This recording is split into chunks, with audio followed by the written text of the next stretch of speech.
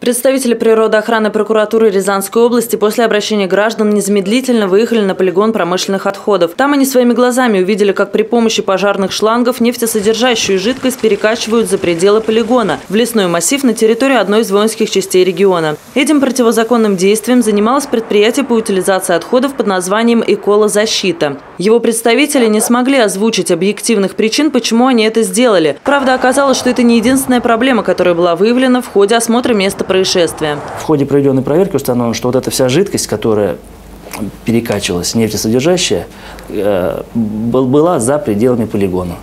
Общая площадь загрязнения составила 120 квадратных метров. А поскольку ограждения нету, границ никто не знает, то еще у нас э, и получилось так, что э, соседний земельный участок, помимо вот этих вот нефтесодержащих отходов, загрязненных нефтепродуктами, э, еще и твердыми коммунальными отходами замусорен. Ограждение на полигоне, конечно, пока еще не появилось, но над этим вопросом уже началась работа. Зато сейчас там уже установили пропускной режим, которого раньше не было вовсе. Управлением Росприроднадзора произведен расчет ущерба, причиненный объекту окружающей среды – почве, в размере более 29 миллионов рублей. Кроме того, сейчас по этому вопросу ведется расследование уголовного дела. После всего этого Управление Росприроднадзора предъявит а, претензию на добровольное возмещение ущерба и проведение работ по рекультивации нарушенных земель. Это колоссальный объем работ, потому что и площадь загрязнения она не только 120 квадратных метров, 120 квадратных метров – это только загрязненная площадь нефтепродуктами, ну, э, э вот этой нефтесодержащей жидкостью.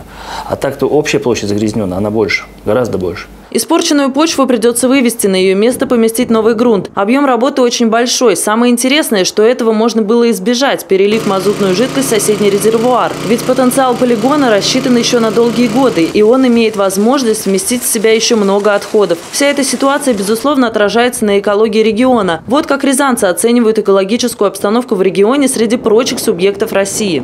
Ну, я думаю, предпоследнее место по всем городам России. Плохая экология давно уже известно, вода особенно. Ну, мы из крана воду уже давно не пьем. Мы возим воду на колодец в деревне. И промышленность, конечно. Ну, это самое первое, конечно, промышленность загрязнение идет. Порой ночью дышать нечем.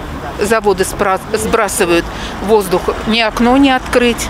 В нашем городе достаточно вредных производств, неблагоустроенных и неадаптированных по такое количество выброса вредных веществ территорий. Скоро наступит лето, жаркий сезон, и, как мы знаем, в этот период жители некоторых районов нашего города вновь начнут задыхаться от всевозможных испарений, и об этом мы еще обязательно расскажем.